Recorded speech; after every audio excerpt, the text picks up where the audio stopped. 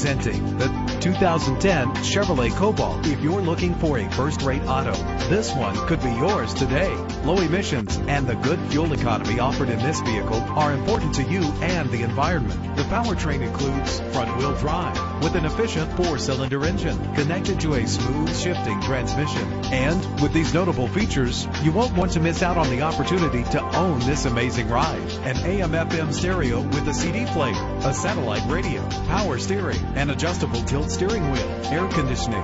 If safety is a high priority, rest assured knowing these top safety components are included. Front ventilated disc brakes, curtain head airbags, passenger airbag, daytime running lights, low tire pressure warning, independent suspension. Let us put you in the driver's seat today. Call or click to contact us.